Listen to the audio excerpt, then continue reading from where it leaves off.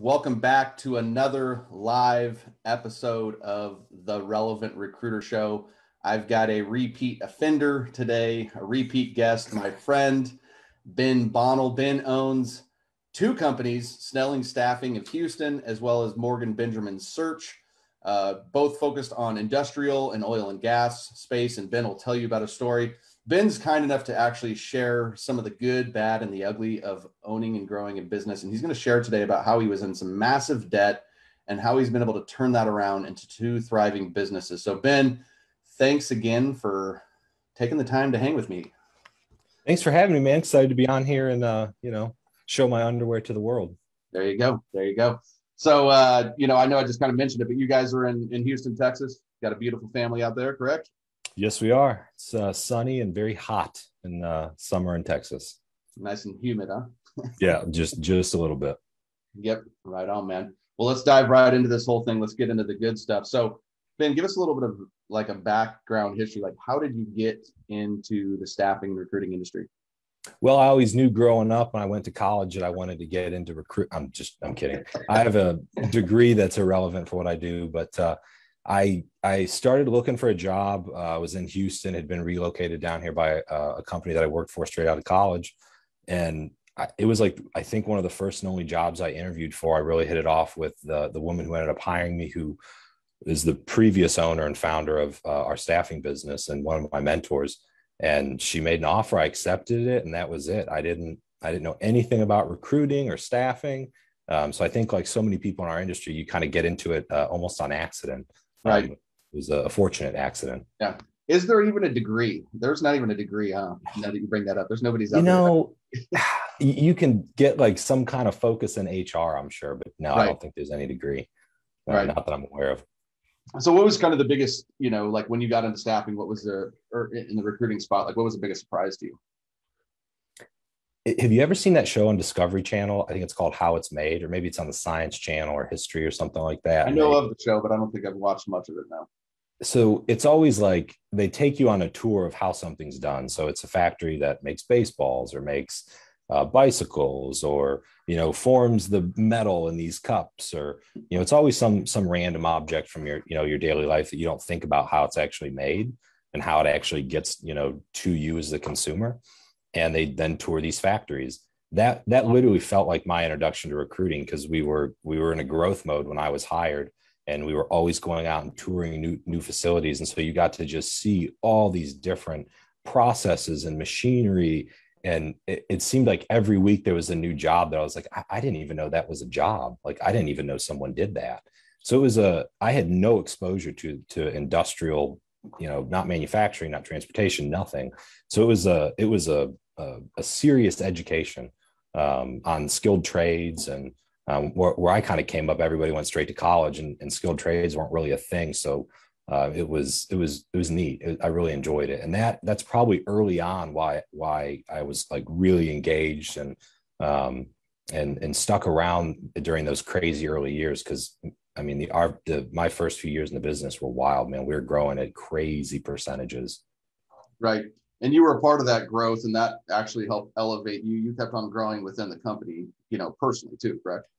I did, yeah. Every year or so, um, they were they'd give me a a little bit more responsibility, whether I was you know ready or prepared for it or not.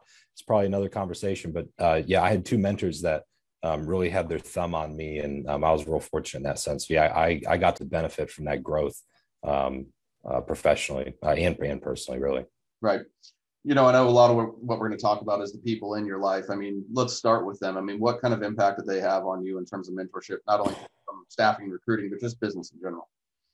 Uh, and it's not even just business in general. They were the people I was with and underneath every single day at work when I was uh, just those are pivotal years, right? Your early and mid 20s. Like that was when I met my, you know, a girlfriend who became my fiance, he became my wife, who we're still married and have kids today. And so all the advice and all the the mentorship that in the moment you you know, are, are probably as a kid in your 20s not necessarily aware of.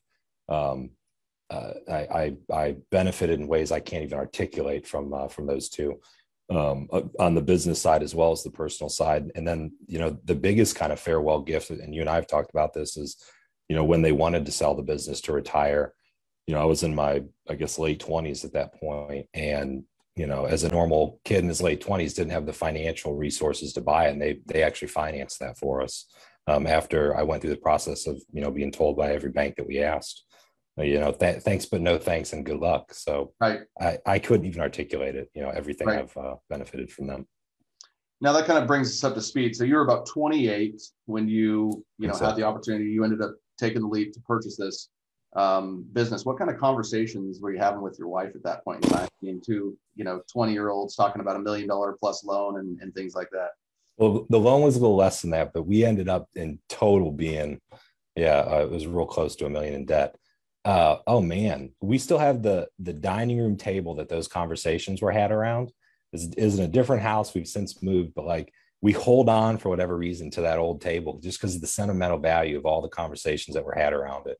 Um, because I, I grew up in a family of small businesses, so Mhm. I think I always kind of at some point knew like I, I didn't necessarily know how that would be my path, but I kind of always thought it, it would be. Um, and, and my wife grew up in the opposite. Her uh, her father worked in the automotive industry, you know, and that that was a different generation too, where you got a job, worked for the same company for your career. Um, and her mother uh, was the same way, uh, worked for a, a certain CPA firm for a really long time, and so we just we were raised in real different households. right. Um, so I, I got the advice. Speaking of of what I benefited from those mentors, it was actually uh, uh, Beverly, my my former boss, who had said, like, you got to let you got to let her come to this conclusion on her own. Don't don't force it or don't try to, you know. And and and I don't know as a kid in my twenties that I would have taken that approach. I really wanted it, and I Right. Left to my own demise probably would have done everything i could to you know try to get my wife to agree to do it with me. And uh, took the approach and the advice that i was given. And um, one day it just happened. She was like i'm all in. Let's do it. And, and we went from there. Nice, nice. So you took on a pretty a pretty hefty loan to get Yeah. started. Um, we'll come back to that, but you know, outside of that, like now you're 28, you're running and owning a business that's you know fairly successful already. You know, what were some of the stre- you know stresses and you know stresses and pressures you were feeling at that point in time? Outside you of the know it was the first time i had ever not had a boss you know and that Right. that's that's a whole new adventure for someone who's you know roughly you know eight seven six seven eight years into their career um and and at first there was the excitement around it and then there was the realization of like hey this is your ship out at sea and and although there were many times it felt kind of rudderless and like i was on it by myself um i think there was probably some some uh you know that was purposeful. They didn't get real involved. They didn't ask a lot of questions in the first year or so. They you know if i wanted to talk to them or give an update or ask questions they were always available but they they kind of let me let me go and figure it out for myself. And you know i I've, I've told you in the past i used to do these really long like 70 mile triathlons. I think that was part of dealing with the anxiety right? It was like Right. trying to find an outlet you know to to either squash it or deal with it i mean um and that's just in the day-to-day running of the business that has nothing to do with the financial aspect of it Right, right. What about, you know, like you just mentioned that you first time didn't have a boss. Now you're also probably the first time where you where you were the boss. I mean, what were some of the challenges you were going through with, you know, managing the team and motivating the team and and, and being, you know, stepping into the leadership role? Nothing like what it could have been. I was already in a, a leadership role at the time um, but my coworkers and there's still one today here uh, the, the girl that i actually trained me when i got hired um, who's been here for 12 plus years um, they made it easy. Like we were a team. Um, there, there wasn't a lot of like pushback. There wasn't um, nobody left or anything like that. Like i, I was super super fortunate um, that people stuck around um, and made it easy because it could have been really difficult. I mean, if they didn't have faith that I could at least do a halfway decent job, I'm sure they were all, you know, they they could easily have left and gone and gotten other jobs, uh, but they stuck around and made it that made that transition super easy for me. Yeah, that's amazing. That's amazing. So you also at that point in time it was just Snelling staffing though, correct? It was, yeah, we were primarily doing light industrial staffing. Right. um, traditional uh, LI model, where probably about 80% of our business was light industrial hourly and about 20% was, was, was administrative or, you know, clerical in the office. Got it.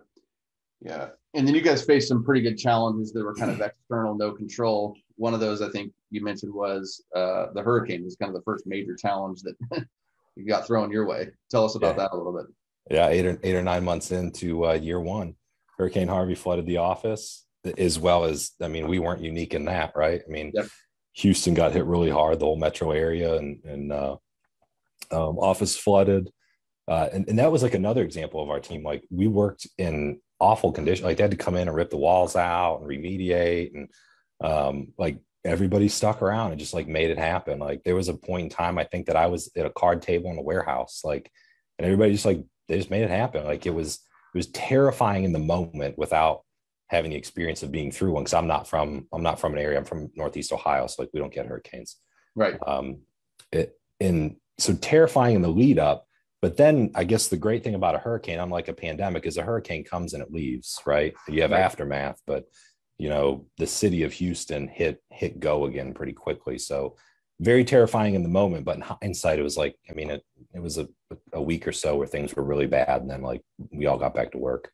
Nice. And then year two, you're an industrial, you're in oil and gas. There was another, there was another big change that happened. What, what was that one?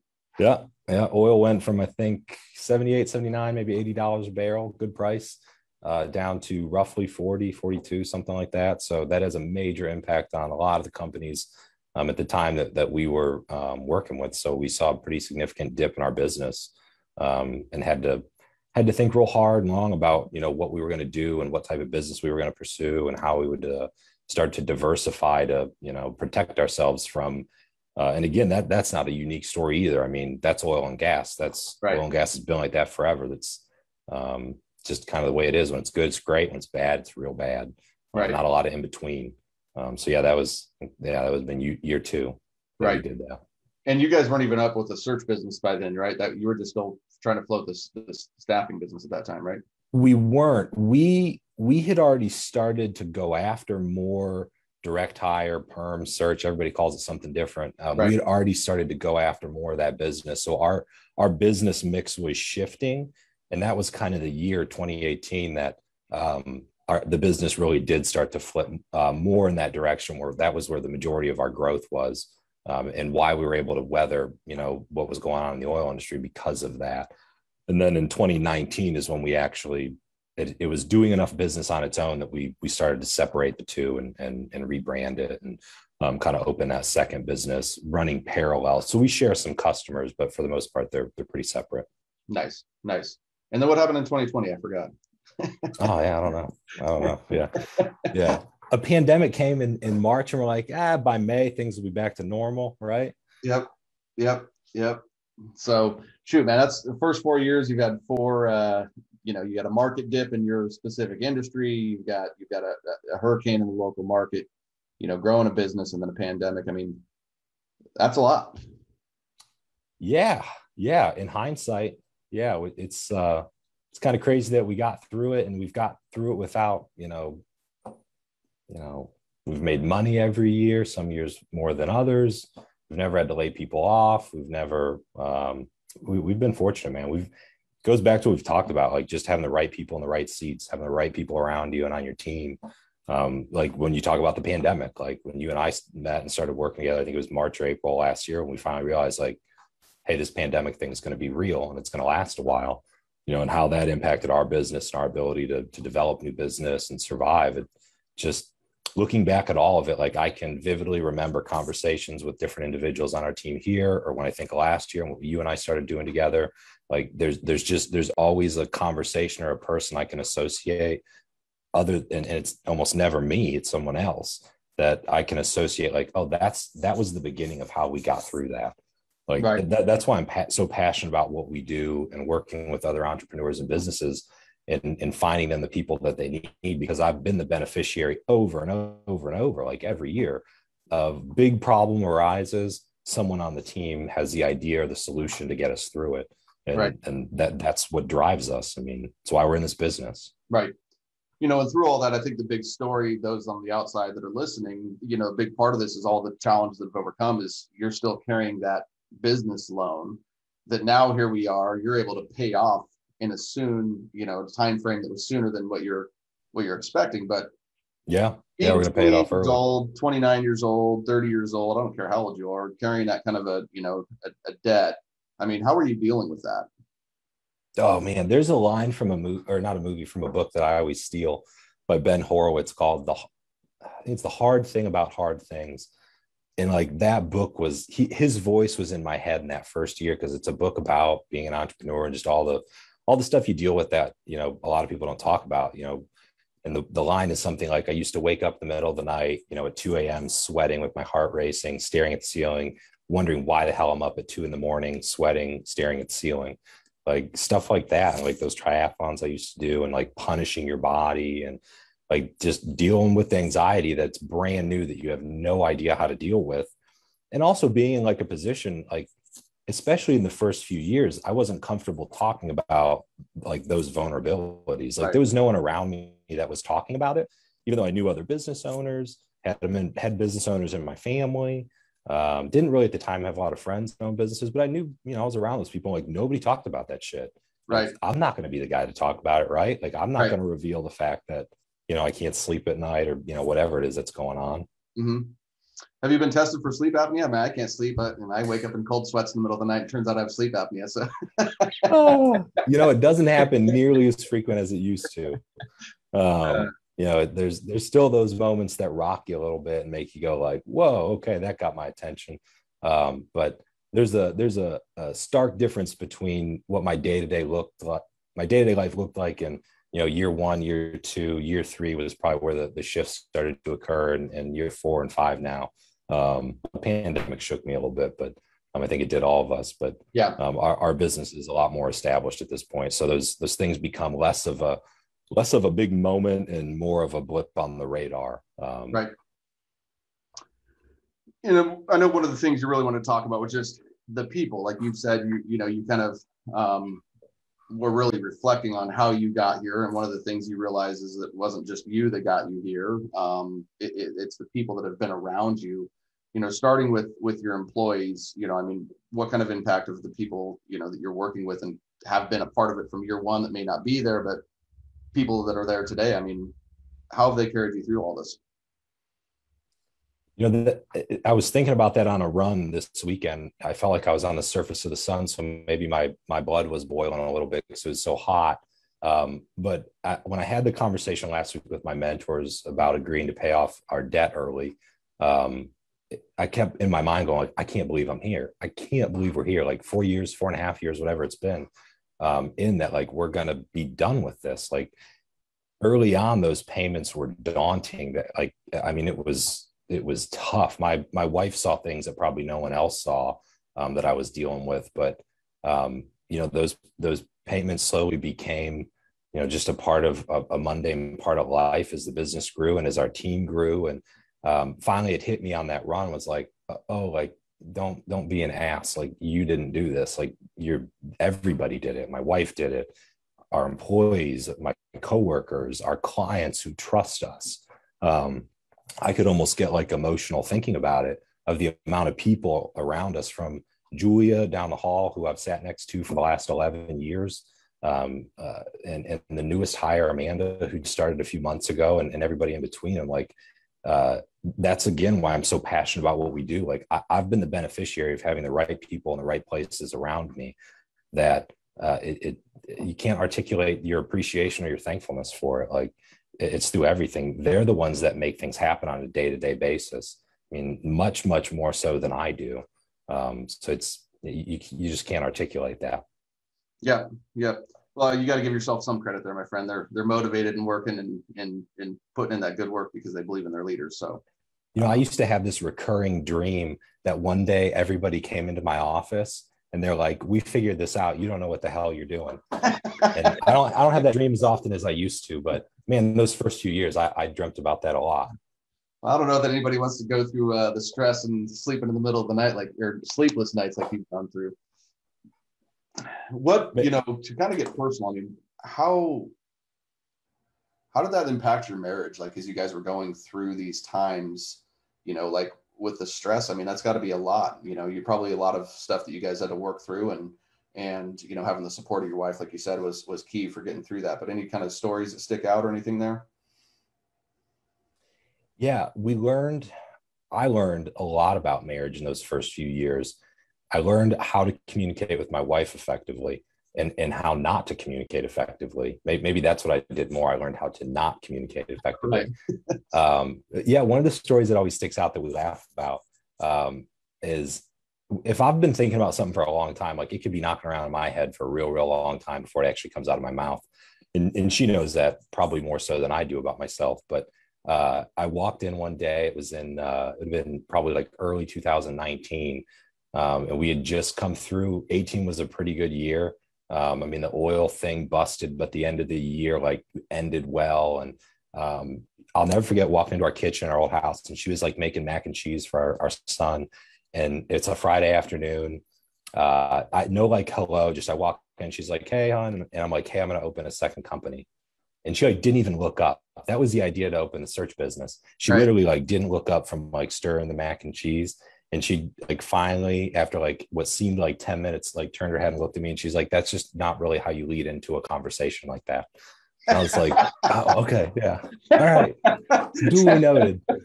Like uh, you've been in this for two years like you know our office flooded the stress that came with that you know then oil sinking and the stress that came along with that like and then you know starting out on the third year i'm like hey i have this big idea it's going to unfortunately be pretty expensive and um but you know i've been very fortunate. She's been very understanding. Um she's always there as a soundboard and i talk to her about things and i'm sure she has zero interest in talking about or hearing about from me. Um all, all, she's ever asked for is that I'm there, like I'm that I'm there for our boys, I'm there for right. our marriage, and um, and I've always uh, really tried to make a firm commitment, like man, five five thirty, I'm out of the office, I'm home with family, um, and and really try to balance out that time. She's a time person, and, and she's right to be that way. We've got young boys, and um, that's the one asset or the one the one resource that you, you just don't get back. So yeah, um, yeah, I'm, I'm I'm real fortunate in that department. I married up big time. Yeah, yeah, I can I can say the same for myself, and it's it's amazing when you have somebody that supports you on the journey, like like you have, like I have. It's you know, I think it's critically important. If not, then you've got things fighting against you. Oh, it would never work. Like it would it would absolutely not work if you if you don't have that. Right. Uh, e- either the marriage would go south, or it would end, or or the business would. I mean, it would it would manifest itself in some way that wouldn't positive. Um, I mean, that's when you talk about hiring or recruiting or having the right people around you, I mean, that's the most important decision um, right. is, is having the right spouse or partner. I mean, that, that comes way ahead of anything else. And if you get that right, shit, the rest of, I mean, the rest of it can fall into place. Right. Right. Yeah. It's uh, like our buddy Jeremy said, you know, it's the ability to recruit.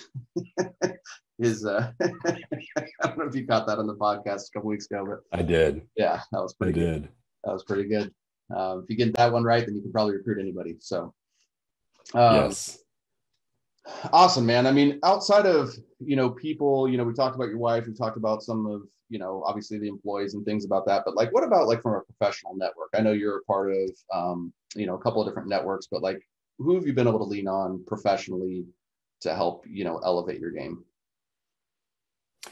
I, um, gosh, probably like two, two and a half years ago, got invited to a group in Houston by a, the CEO and founder of a client of ours called the Dover Group, and it, it's uh, it, it's all um, small business owners. We're all we all kind of come from different paths um, or, or, different uh, industries. Some of us, although, are in kind of similar businesses. Um, and when he invited me to it, he, he, said, "Hey, I wish you know somebody when I was your age and at, at your you know." um, stage in the journey. I wish I'd have been invited to something like this to have you know other other business owners and entrepreneurs around you, um, and that's been that's been a big deal um, in a couple ways. Like one, just to have those people to talk to in a room that you know what you say is confidential, right, um, and that you're not going to be judged for. But then also in a business sense, a lot of them um, have have uh, used our business on both sides, and, and we're fortunate for that.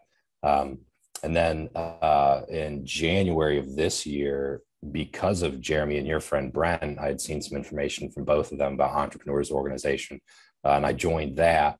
Um, and that's uh, as well. Anyone that's eligible to join that that doesn't join it is uh, is crazy, in my opinion. It's an amazing um, organization, and, and the effort that they put into creating an environment that helps uh, helps you grow and fosters uh, growth.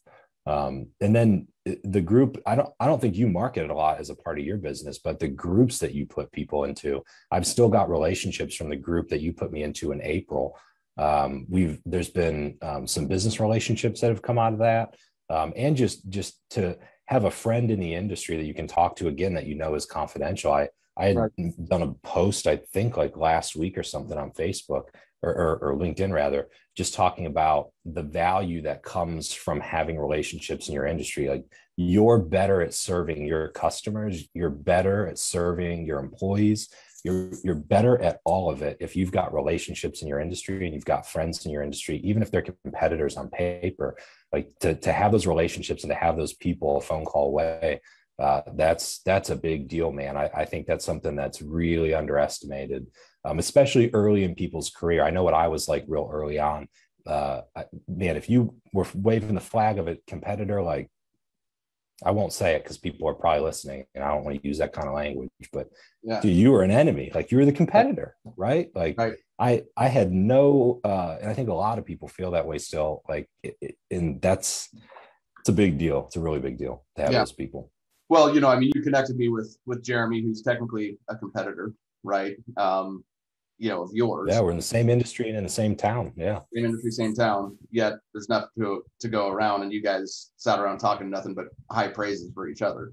So you know, I think you bring up good points there. It's you know, there's so much to go around. If you have an abundant mindset, you realize that there's there's just enough.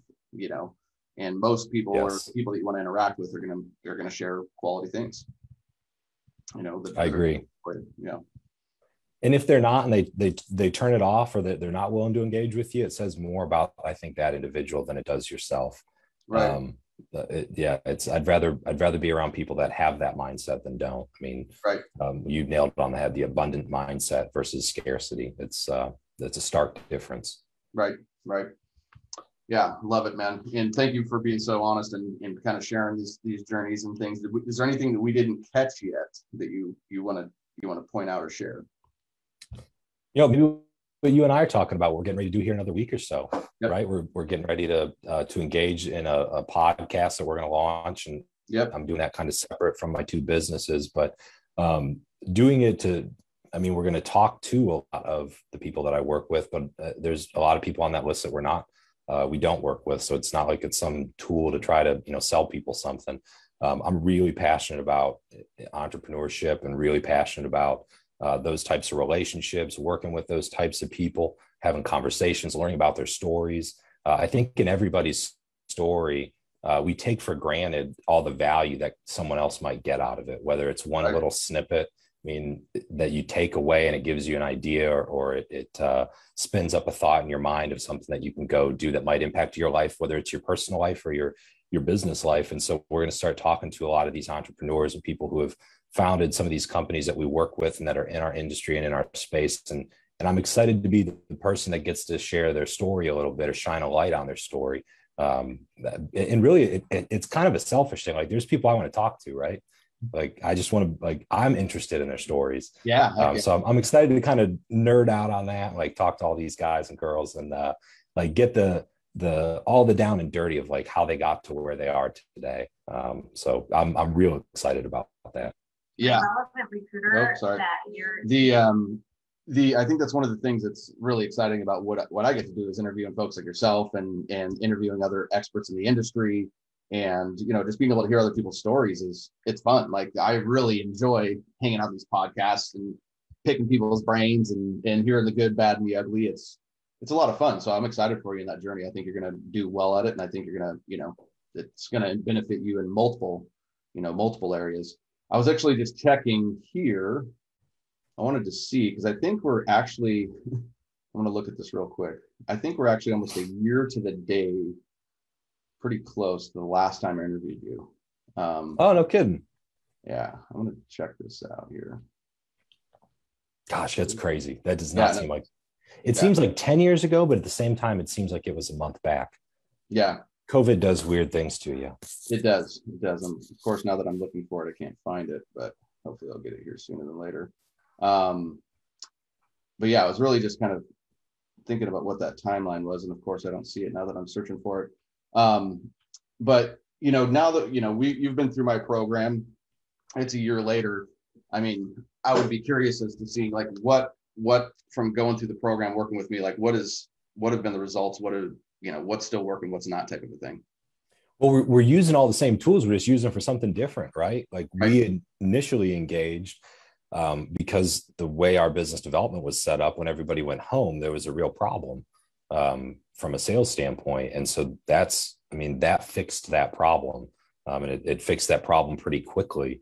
Um, and then, yeah, I don't know, I guess it was about the turn of the year probably where the, the opposite problem took place. You know, we right. went from, you know, a, a very employer driven market where, you know, we were having to do a lot of business development to a market where it was very candidate centric um, and you flip the script. And so the same tools or processes, like I never thought about it back then because back then it wasn't hard to find candidates. Right. Um, but now, yeah, I can't, I mean, if you're a recruiter in this industry right now and you're not busy, there's a real problem.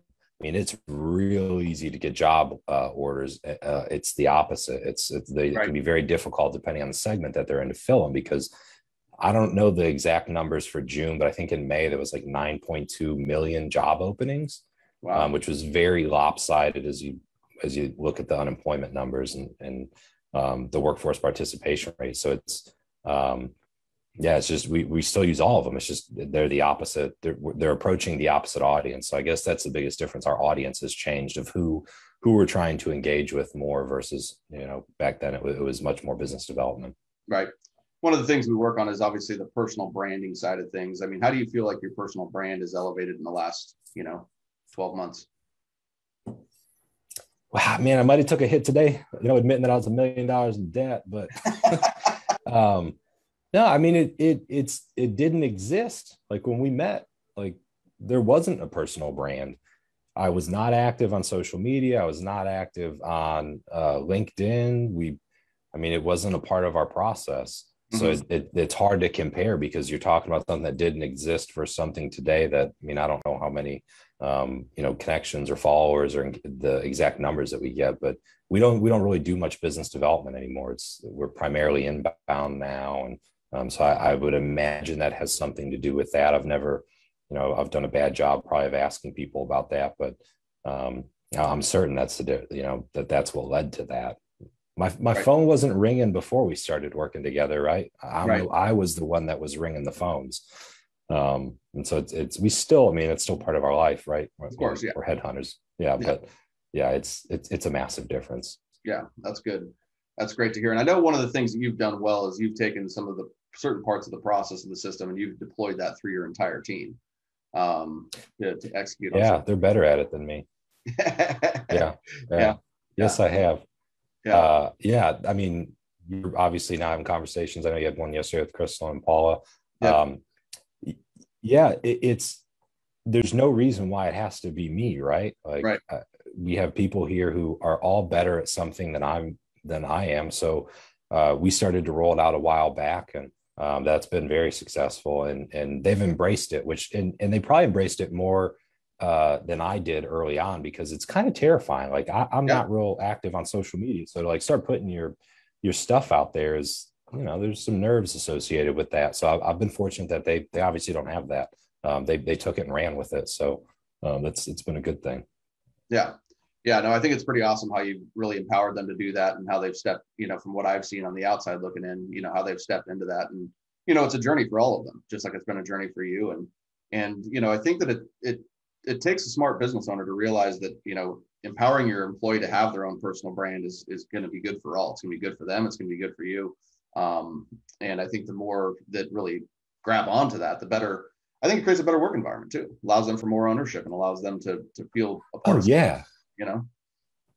Yeah, I mean it's uh, especially in our industry. I mean, when it comes to recruiting, I mean, it, and I guess it's like that with everything. I just, I naturally think it's different, of course, because it's our industry, but right. um, it, it's not unique, I guess, to most things. Like people want to buy from people they know. Yeah. You know, they don't, I, I don't know that, you know, brands, big company brands go nearly as far in our industry than um, personal brands do. I mean, especially right. when you're talking about a candidate who wants to make a, a career change. You know i mean we talk to people who haven't talked to their spouses yet about a career change sometimes. You know they they want to talk and they want to deal with someone who they trust and who they know and they feel like they have a relationship with. And uh, the more you you get your personal brand out there the better off you are at getting the right engagement from those types of people. Yeah. Um, you know that I, I think that and maybe maybe i maybe i am right. I don't know. But i think in our industry there's there's definitely something to that um, i think personal branding is as much if not more important um, than the company brand itself got it Got it. And I'm just curious. I mean, have you what kind of feedback have you gotten from the actual employees? I mean, it's not the traditional desk model. You know what I teach. Um, it, you know, how do they enjoy going through the process? Well, they, they're more consistent. They do a better job than I do, so I would imagine they're enjoying it. Yeah. Um, not not not. Uh, you know, I think early on last year when we were doing it, there was maybe a little bit of hesitation because it was a brand new thing to us and it was brand new to me. I probably didn't do a great job of conveying a lot of the information. Um, it, but since then, I mean, it's uh, it's just become a part of what we do and who we are, and it, it, seems that everyone enjoys it. I don't think they would be doing it if they didn't. I don't think anybody is around here is, uh, you know, shy that would not, you know, come over here and be like, "Hey, I'm not doing this shit." Yeah. uh, so yeah, I, they they embrace it. That's awesome. That's awesome, man. Well, kudos to you to you know for implementing all that stuff. You know, seeing the results of that. Now we're on to the podcast. Is our next big big play and big move. So make sure you guys uh, head over to LinkedIn, follow Ben Bonnell as he's going to roll out his podcast in the next uh, week or so. We'll be doing some recording and yes. we'll have that thing live here soon. Um, but I think it's great that you're stepping into that and and one thing I applaud you for, man, is you're always looking to grow. I think that's I think that's really really awesome. I mean, do you want to speak a little bit about how much you've kind of invested into personal development and growth and the groups and stuff, and how you feel like that's impacted you? Yeah, I mean, it's uh, it's tens of thousands of dollars a year. Um, yeah. I don't know the exact number. I probably should. My my Sarah, my CPA is probably like one over. I don't know that figure, but um, I spend a lot of money on it, and and really it started when you and I's relationship and our friendship started where I it's like, oh whoa, there's there's a lot of value here. Um, and so I embraced it and I I chased that down um, pretty fast and engaged uh, with with uh, a couple different organizations and yourself obviously and um, I, I think it, a lot of people are probably slow to, to get to it but I think anyone that gets to it if you see the value fast I mean you and I've talked about this a million times it uh, it it pays for itself Right. Um, it's uh, it, it's been a real game changer for me in the last you know whatever it's been 18 months. Um, so I, I, I thought about it too. This is probably a little aside. Maybe this is a little bit too much information, but um, I used to wonder about. I'm like, why am I never content? Like, why am I always trying for something more or like something bit like you set a goal at some point you achieve it and it's like okay that we're done with that now what until finally i kind of realized like it's not about the next goal. It's like I, am content when there's a challenge. And right. if you're committed to growth, like there is no bigger challenge. We're human beings. We're we're flawed, all of us. So yep. if if you're committed to to discipline and, and growth, like I mean that there's just there's no greater challenge. I mean, there's there's no um there's no end, right? Like you're right. just you're constantly striving to be better yeah. Um, whether it's in your marriage, whether it's as a father, whether it's as a business owner, as a coworker, yeah, um, whatever it may be. Um, it's it's just a constant challenge. Yeah, I love that. I like to call it just kind of being in the process, right? Um, I think we're all in the process, no matter marriage, business, growth, and and sometimes you can sit on the sidelines um, and watch, or you can hop into the process and and grow and, and face some things head on and things like that. And I think that's where you know, anytime you have that adversity, you know, last year, for example, in the pandemic, you know, some people packed it in and that's no knock. It's just how people reacted. And some people, you know, stepped in and, and that's, you know, there's a difference of probably where they're at right now, you know, and I, I just always like to encourage people that, you know, with help, with growth, with a coach, with whatever it is, a mentor, however you want to design it, but stepping out of, outside of your comfort zone, there's just a whole different life out there mm. that you didn't even know existed. You know, like you're saying, here you are, you're taking on a, a massive loan, and here you are four years later, and you're paying it off early. It's like what? You know, like that's because of everything you stepped into, the growth that you you know invested into, and the belief and that constant pursuit of, of better. You know, um, at least that's what I, I read. This like big quote every day that's in my home office and is in my my home gym um, by and I can't say the whole thing; it's long, but it's the one by Teddy Roosevelt. That's the, the man in the arena, Yeah. Um, like if you're not in the arena, like your feedback's not welcome, your criticism's not welcome. And um, if you find other people that are, you know, quote unquote in the arena, right, man, the, the iron sharpen sharpens iron. Um, yeah. It, it's uh, the sky's the limit. Yeah, it's a great game. Love it, man. So outside of the podcast, I mean, what are you most fired up about next on your journey? You know, it's almost August and it's really hot in August, and then comes September. I'm like excited about being outside again. It's really hot in Houston. I told you, man, I went on that run. I'm like, I think my blood was boiling. Um, so I'm excited for the end of summer and to get into better weather where we can start doing a lot more stuff outside we kind of we didn't get robbed of a year with covid but we to a degree we did we we didn't get to see our family nearly as much my wife and i aren't from texas and we live in houston now so um, our families are all uh, their flights away it's not a car ride so um, we've spent a lot of time with family uh, recently and, and out of town friends and we're looking forward to continuing that and it, it wouldn't be possible if we didn't have a business that was growing and i didn't have employees that could make shit happen without me so right. I, am excited that we reached this destination, which is just one destination on a long journey. And I realize right. that, but it's exciting to be at the one that we're at now. And and like you and I have talked about too, like sometimes you do have to kind of step back and recognize that. Um, and and um, I am very proud and feel very fortunate and grateful that we've got to the point that we're at right now, and that that I'm able to not have to work crazy long hours, you know, six seven days a week, and that you know, I, I can step back and enjoy time with family and friends and, and make up for a little bit of lost time, you know? Yep. So that's, that's what I'm looking forward to this fall. That's awesome, man. And you deserve all that. So definitely, definitely soak all that in. hopefully, uh, hopefully the Houston yes. Texans. Are you a Texans fan? Or you you're probably a Browns fan? Uh, I mean, uh, yeah, unfortunately, uh, we're doing good now though. I mean, last year was know, the best year in my my uh my fa- year, my my uh, tenure as a fan. So yes, I'm a Browns fan. I root for the Texans just because my kids are growing up here. I'm sure they're going to want to root for their hometown team with their friends and stuff. So yeah. it's not looking good for them though, man. They got they got some stuff going on. Yeah, they do. Um, so we'll we'll stick with the Browns for now. Right on, man. Well, thanks again for for hanging with me, Ben. Um, if you could leave the audience with one final piece of advice, what would that be? Wake up earlier. Wake up earlier. wake go. up earlier. If you can't get it done, wake up earlier. All right. That's when win the morning, win the day, right? I'm one of those weirdos that gets up at like four, four thirty every day. Changed my life when I started doing it, man. Yeah. Wake up earlier.